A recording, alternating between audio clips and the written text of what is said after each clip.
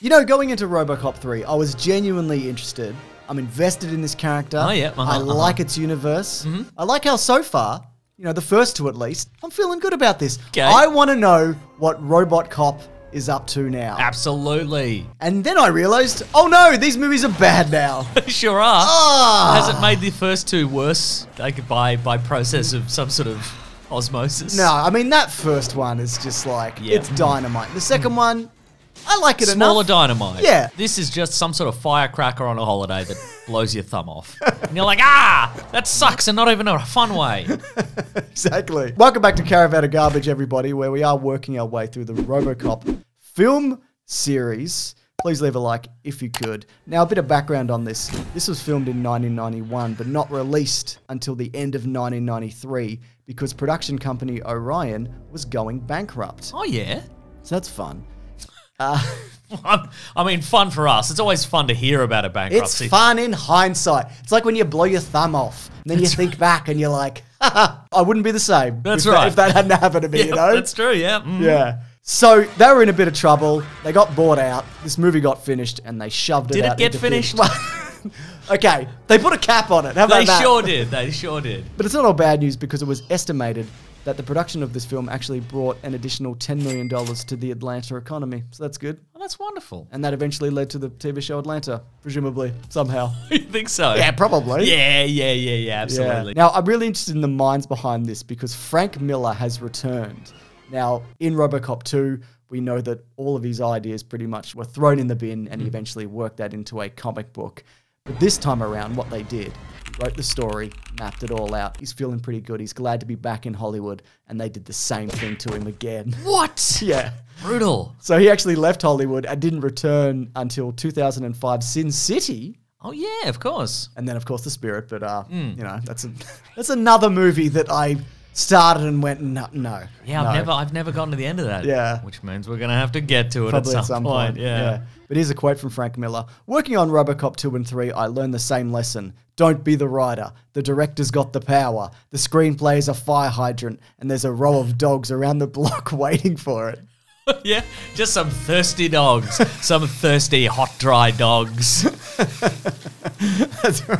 Boy, that's that's very poetic. Good Yeah. work, Frank Miller. absolutely What is what's the fire hydrant? Hollywood? Yeah, I guess. Writing, directing, the screenplay is the fire hydrant terrific. and there's a row of dogs around the block waiting for it so the, the dogs the audience You would think the implication there is the executives of the dogs. Yeah. But then, like, if you open up a fire hydrant, you can wet all the dogs you want. There's still plenty of water. You can know wet what I so mean? many You can dogs. wet as many dogs as you wish. It's practically limitless. yeah, right? Maybe that's what he means is uh, his ideas are practically limitless. The story this time around, how do you feel about it? Corporations are out of control. Corporations are out of control. We thought they were doing good. You know? Yeah. They built a robot cop. Right? For the city. We, the people of Detroit, thought OCP were doing such a stellar job. Yeah. This movie is way less cynical than the previous two, and it's for the worse. yeah, It's- definitely. Now, I don't think this is a hard and fast rule. Having a kid in a movie doesn't necessarily make it bad, Mm-hmm. but it can often indicate a bad turn for a series. Absolutely. Not always. Terminator 2 is a fantastic movie with a very annoying kid in it. That's you right. Know? That red-headed kid. Yuck. No, he's great. Oh, I, I haven't seen him, officer.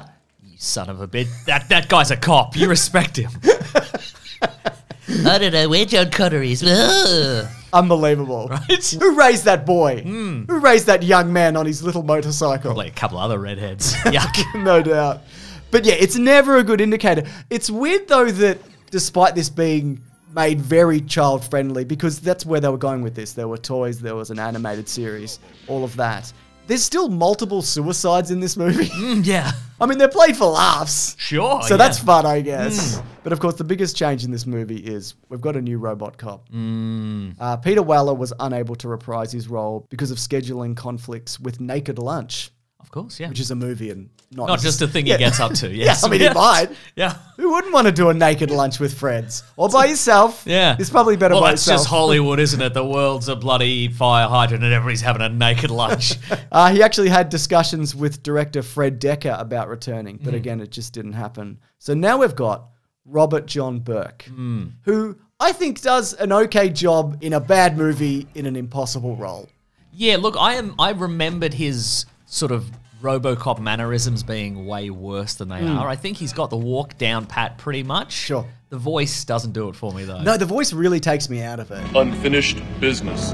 And also, he's more quippy in a very contrived way. There's a moment where he goes to uh, get revenge on the, the rehab troops that kill uh, Officer Lewis, and one of them's about to light a cigarette, and he's like, I'll take care of that. And then he blasts them all with a flamethrower. I'm like, you just stand around there for like 20 minutes? For one of those guys to go on a cigarette break, or you wait for one of the guys to say, "Boy, I sure don't have a lot of bullets in me," and then he could be like, "I'll take care of that." Bang, bang, bang, bang, Oh, wait, I. I just need to change the attachment on my arm. I mean, he was up against it because he was hired specifically because he fit the measurements of the suit. Oh, no. they took the suit from Robocop 2, they repainted it so it's less blue. Mm. So it was basically like, we need a guy who can fit this. Yeah. Mhm. Because that saves on budget. Apparently, the neck didn't fit him at all and was quite painful. Okay, I mean, it's, it's a painful situation regardless. You can't adjust the neck. Just Nah. okay, then great. Nah, you can take it off, Yeah, give him a turtleneck. that's right. Yep. We've upgraded you, Robocop. Murphy, we've salvaged some of your neck skin from your coffin. But you know, I like that he's got a gun arm. That's cool. Mm-hmm, you know, again, I don't think it's anything to do with Robert John Burke. I think he did a pretty good job again in this very difficult situation. He's done good work since. I did uh, some good work on Rescue Me. Oh, Remember Rescue show, Me, you I remember that. He was on. It was a little show called A Gossip Girl. I don't know if you oh remember that. Oh my god, He was the Gossip Girl. he gossiped. That's right. Yeah. I didn't know that. Yeah, wow, that's that's hard work. Yeah, yeah. I, I think um, uh, Nancy Allen's good. Yep. as ever as uh, Lewis, of course, but uh, I mean, they give her something to do this time. get machine gun to Yeah, death. she does. That's right. And there's a moment where Robo again, RoboCop's about to fight the rehab guys, but he can't kill them because they're OCP employees. Yeah. And he like shoots down at their feet, and then he just lets Lewis stand in front of him. Yeah. Murphy, you're the bulletproof one. What are you doing? His neck is exposed now. He Hmm. But doesn't I- want to get shot. That's true.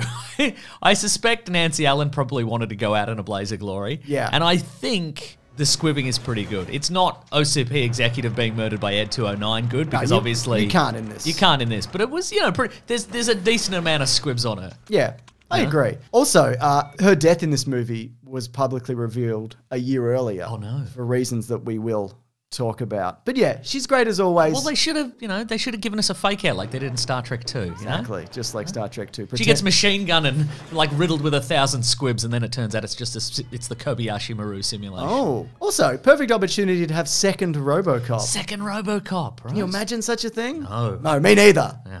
I mean, second RoboCop or a scene in which she is turned into a RoboCop and pulls her own head off. Sure, absolutely, yeah.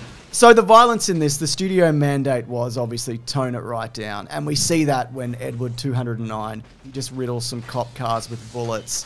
RoboCop at the end when he busts into the warehouse to kill everybody. Or whatever he's wherever he busts into. That thing that he does in every movie. He busts into a place and he kills everybody. That's right. He's using a flamethrower. Yeah. As opposed to riddling everybody with bullets. which you'd think would be cool as hell. Yeah. It's usually not. Nah. It's, you know, he's flamethrowing people and they're like, oh, my skin. That stings. But I tell you what, I do like Bruce Locke as Otomo. The uh, the uh, Japanese RoboCop replacement, the Yeah. the android ninja. I do as well. I like his. Uh, I like. I like the fact that he can convert his face from just stoic robot warrior to just absolutely like deranged mess. Yeah, I think absolutely. that's impressive. The moment where he gets his jaw knocked off and he, ha- he has to like sort of wrench his jaw back into place Yeah. looks incredible. That's great work. Completely agree. I think there's definitely something T1000 about him, Mm. whether that is intentional or not, because this was filmed in 1991. I mean, there is morphing in this movie, of course. Oh my I god, mean, there's there so much morphing. There is a moment where uh, Murphy sort of he hurtles down the information superhighway cyber hole of his memories, and and he comes up, he comes across like the face of his his ex wife that then morphs into the face of the new girl in his life. The woman he knows. Yeah, yeah, the woman. He The other woman he knows, because the third woman he knew got shot. Yeah, yeah, yeah, yeah. Yeah, that's great stuff. Oh, which reminds me, what a cavalcade of just TV stars of the '90s in this. Who have we got? We have Rip Torn. Damn. from the Larry Sanders show, of course, as the new CEO of OCP, who's not really committed to the role. I mean, Rip Torn is, but the Yeah, new yeah. CEO is just like, I could take or leave this job, really. I don't know, Japanese investors? Sure, why not? Or Whatever, not, I don't care. Yeah. Uh, we get Bradley Whitford, Yes. soon to be in the West Wing. Oh my god, Incredible. he's, he's gearing up. You can tell. That's He knows it's coming. Yeah, yeah, yeah, yeah, yeah. yeah. Um, we get CCH Pounder. Uh, we get, of course, Stephen Root. From News Radio. Mm, that's right. And other is. things, but at this time, News Radio. News Radio, yeah. Uh, and of course, He's the stapler guy from Office Space. That's exactly- Sometimes we have to name specific roles, otherwise people will say, "I can't believe you didn't mention that very specific thing that they're in." Yes, exactly right. And of course, we get uh, Jeff Garlin as the guy in the donut shop. Ooh. Who, of course, you'll know from the movie "I Want Someone to Eat Cheese With." That's the, is that the specific reference you want? You dogs. That's the one I wanted. That's right. And of course, we get uh, Jill Hennessy Mm. uh, as Dr. Lazarus. You'll know Jill Hennessy is uh, Jordan Crossing from the TV show Crossing Jordan. I remember. Because if you cross Jordan, what happens? You get a crossed Jordan. That's right. She becomes very cross. but what a world! Just a just a bunch of very talented uh, people just slumming it. I feel Surprised me. Or or their is this their first foray into For some of them, I would like say. big big Hollywood productions maybe, and then their their talents were seen elsewhere probably. You might be right, yeah. Hmm. I just wanted to quickly get back to uh, the storyline of this. So basically, OCP, in conjunction with the Japanese, have decided to drive everybody. The Japanese Kanemitsu Corporation, not all, not everybody in Japan. really?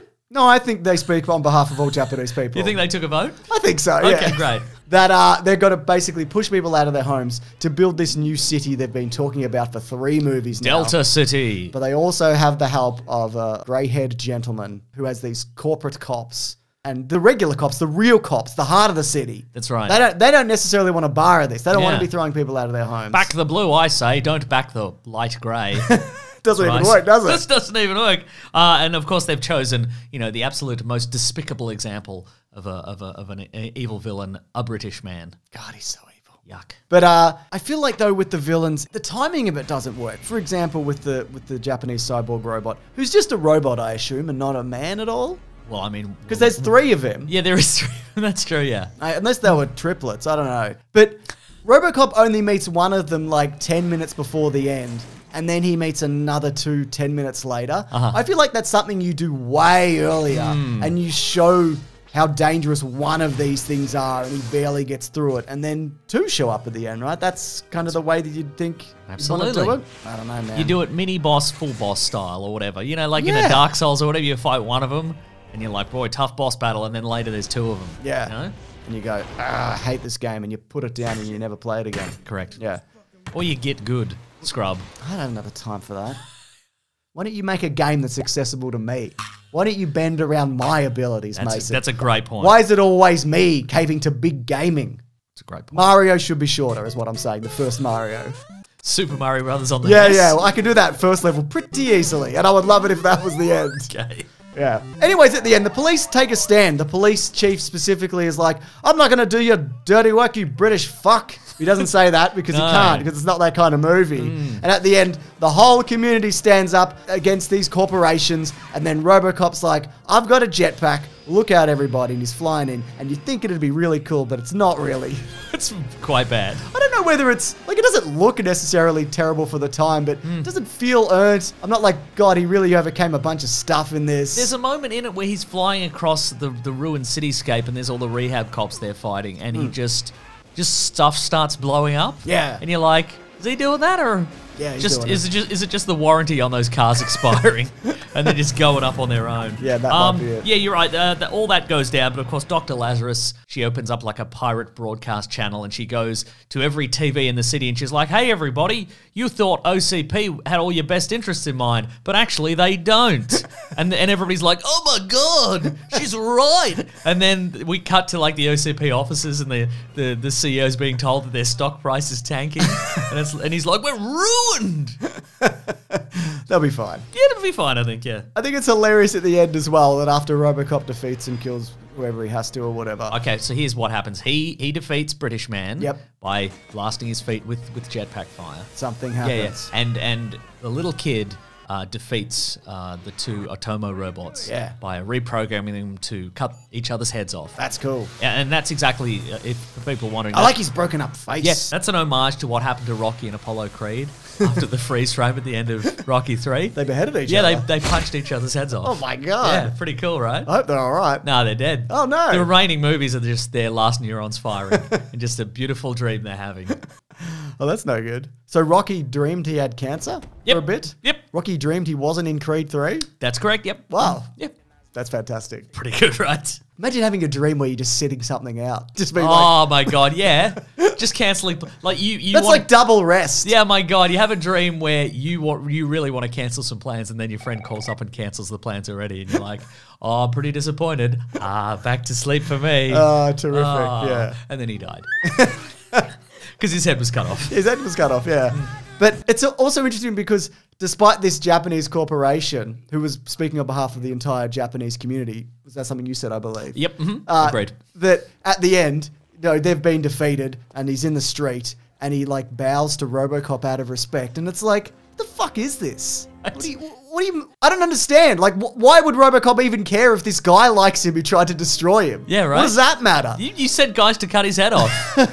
You, come on. It's so weird that Robocop didn't kill him. And then Rip Torn's like, hey, what's going on? I like you, Robocop. And Robocop's like, we're not mates. That's right. And that's the ending. yeah. I think that's a beautiful message that you can tell someone you, you know you're not their mate.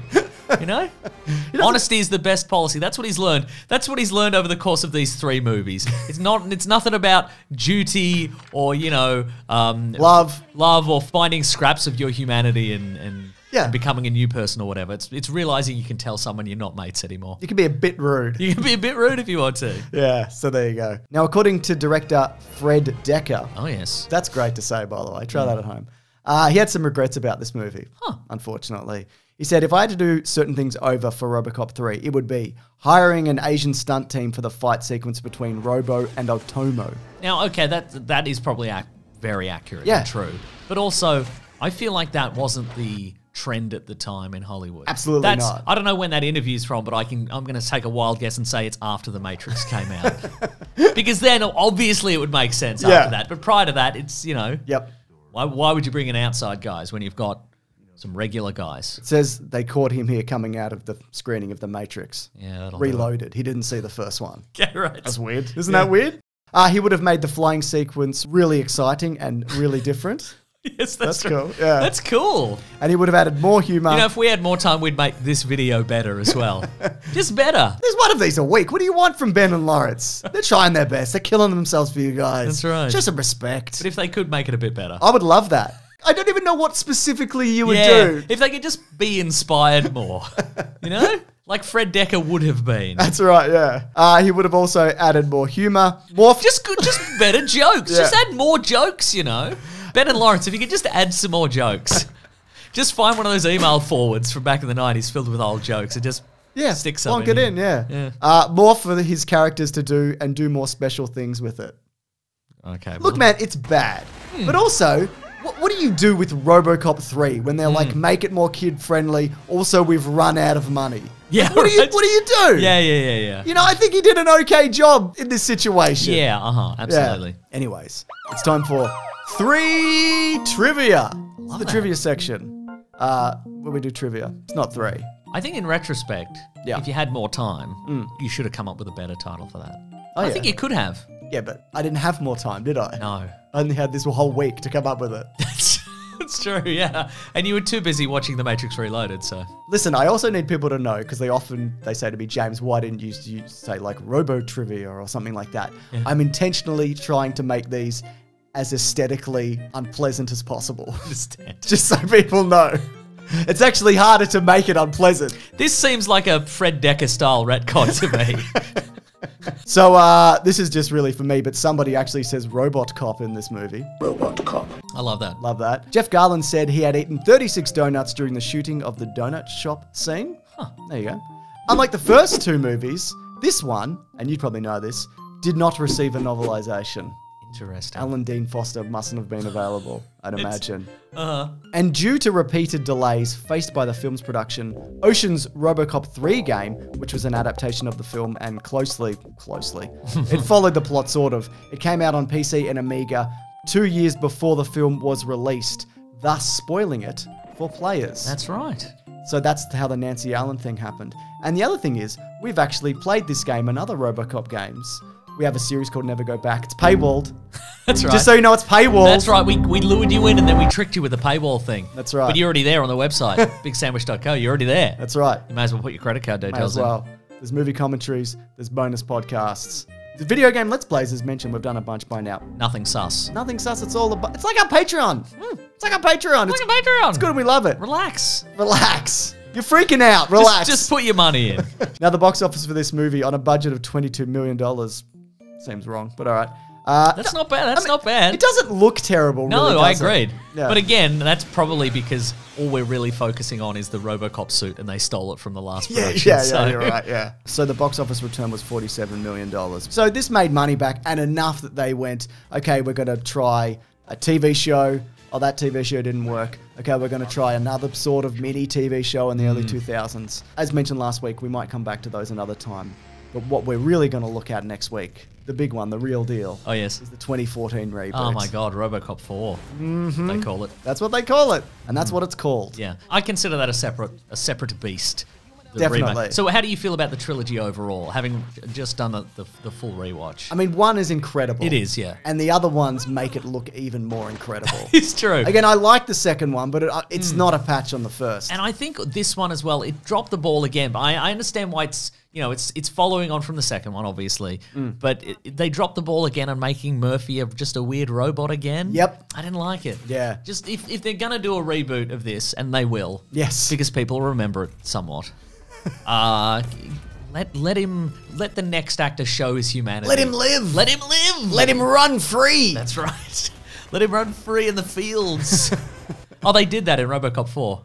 Remember? Oh, yeah, he does he goes, run in goes the on the run, yeah. Anyways, come back next week for that. And another thing that goes up at bigsandwich.co, in addition to all the other wonderful things I've already mentioned, That's so wonderful. these videos go up there early, don't they, Mason? That's right. And that one will be no exception if you do want to check it out. What a bargain. What an absolute bargain. That's right. Wow. It's uh, it's Are we if, the corporation? if anything, it's too cheap. If anything, it's quite sus, honestly. Are we the bad guys? Are we like big business now, bullying people out of their homes and onto bigsandwich.co? We're not, but we could start. Okay. Sounds like a really good idea. I'm actually not that busy. Yes. Because those titles for trivia doesn't take me that long, actually. Interesting. Yeah, I lied. Is it just the first thing you think of? It's mostly the first thing, yeah. It's the first and worst thing I could think of. Great. Anyways, thanks for watching this. We appreciate it. Also, we have a podcast called The Weekly Planet where we talk movies and comics and TV shows. Comes out every Monday, and we'll see you all on the next thing. Grab it out, Jamie, guys. We'll see you next week. Bye.